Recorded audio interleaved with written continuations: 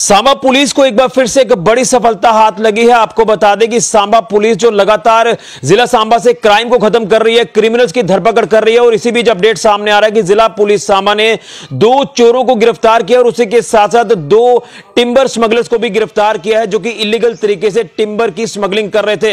यह बड़ी जानकारी सांबा पुलिस के हवाले से सामने आ रही है। आपको बता दें कि अगर विजयपुर पुलिस टीम और रामगढ़ पुलिस टीम की बात करें तो इन टीमों ने जो है चोरों की धरपकड़ की है और उसी के साथ साथ सांबा पुलिस टीम की बात करें तो इन्होंने जो है टिम्बर स्मगलर्स की गिरफ्तारी की है, जो इलीगल तरीके से टिम्बर की स्मगलिंग कर रहे थे। इनकी जो पहचान सामने आई है, ये भी मैं आपको बताना चाहता हूँ, लेकिन लगातार हम देख रहे हैं कि सांबा पुलिस जो एक ही मोटिव लेकर चल रही है कि जिला सांबा में जिस तरह से इलीगल एक्टिविटीज़ को शरारती तत्वों द्वारा की जा रही है, उसके ऊपर पुलिस लगाम लगा रही है, लगातार शरारती तत्वों की धरपकड़ कर रही है। क्राइम जिसमें हम देख रहे हैं कि नशा तस्कर हो, पशु तस्कर हो, चोर हो या फिर अदर क्रिमिनल एक्टिविटीज़ को अंजाम देने वाले शरारती तत्व, उनकी धरपकड़ की जा रही है। और इसी तरह से इन शरारती तत्वों के नाम सामने आए हैं, जिसमें चोरों को लेकर अपडेट करें या फिर उसे के साथ टिम्बर स्मगलर्स को लेकर अपडेट करें।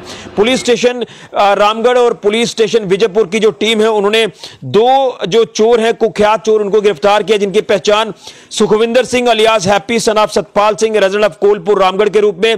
दूसरा है Rakesh Kumar son of Gyanchand, resident of Tamor, Vijaypur के रूप में जो इनकी पहचान हुई है। वही टिम्बर स्मगलर्स को लेकर बात करें तो सांबा पुलिस टीम ने जो है दो स्मगलर्स को गिरफ़्तार किया जिनकी पहचान Krishan Lal son of Dayaram resident of Katera सुंब और दूसरा है Bir Mohammad son of Gani Mohammad resident of Chanuri Samba के रूप में जो है इनकी पहचान हुई है।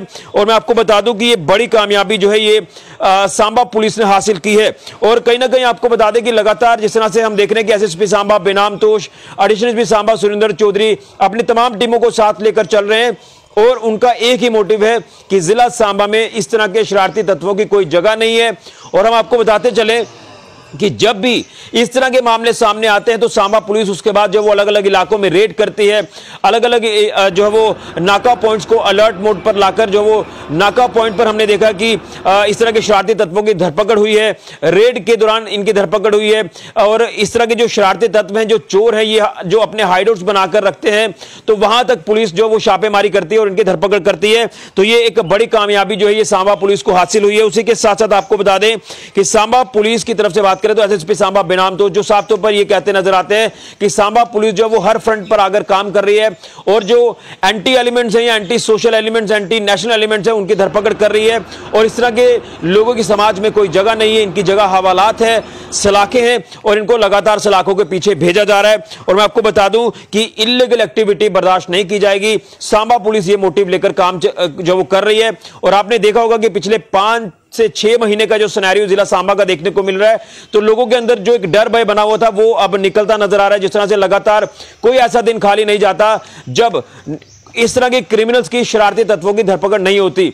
मैं नशा तस्करों को लेकर बात करूँ पशु तस्करों को लेकर बात करूँ या फिर आ, इसी के साथ चोरों को लेकर बात करूँ या अदर क्रिमिनल एक्टिविटीज़ को अंजाम देने वाले शरारती तत्वों की बात करूँ तो इनकी धरपकड़ हर दिन हो रही है और साफ़ तौर पर दिशा निर्देश है अपने तमाम पुलिस ऑफिसर्स को एसएसपी सांबा बेनाम तोश के कि समाज के हित को ध्यान में रखकर काम करना है और जो लोग समाज के लिए थ्रेट है उनकी धरपकड़ करनी है। उसी को लेकर सांबा पुलिस की यह मुहिम लगातार जारी है और और लगातार इनकी धरपकड़ की जा रही है। तो ये बड़ी कामयाबी है जिला पुलिस सांबा के लिए कि चोरों की धरपकड़ के साथ साथ टिम्बर स्मगलर्स को भी गिरफ़्तार किया है। तो आप देख सकते हैं कि टिम्बर की जो स्मगलिंग की जा रही थी, ये टिम्बर की जो लकड़ी होती है, काफ़ी कॉस्टली रहती है। तो इसी तरह से हमने कई अलग अलग इलाकों में देखा, या तो खैर की लकड़ी की तस्करी की जाती है, या फिर टिम्बर की लकड़ी की तस्करी की जाती है। लेकिन पुलिस तक जब ये मामले पहुँचते हैं इंफॉर्मेशन पहुँचती है तो पुलिस जो उसके ऊपर जो है वो कार्रवाई करती है, पूरा मामले का संज्ञान लेकर और इसी तरह से सांबा पुलिस ने यह कामयाबी हासिल की है।